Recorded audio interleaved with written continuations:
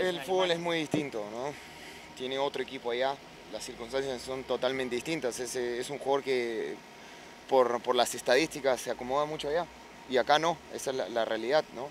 Entonces va, es sin lugar a duda el, el, mejor jugador peruano de la historia, el que más títulos ha ganado, eso no se lo puede quitar nadie.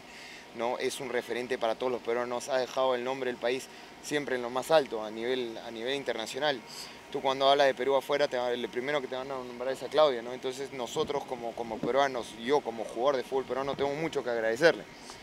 ¿no? Si es que eh, ha tenido buenas o malas actuaciones en la selección, eso ya le, compete al entrenador ver si lo hace jugar o no. Obviamente nadie está contento, pues, ¿no? Era, importante sacar buenos resultados y, empatar con Venezuela local no estaba en los planes. Ir allá, pe, pe, perder quizás sí, ¿no? Pero me hubiese, gustado ver un poco más del equipo.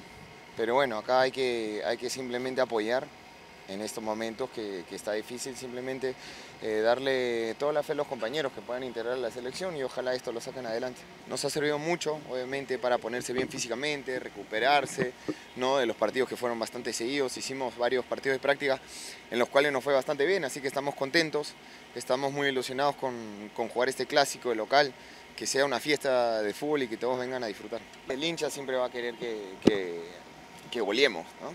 que se vea un fútbol espectacular, que hagamos tres guachas o, diez guachas por partido y eso eh, la realidad no, no, es así. Nos gustaría dar el mejor show posible porque el hincha de Alianza se lo merece, pero yo con darle el triunfo me voy contento.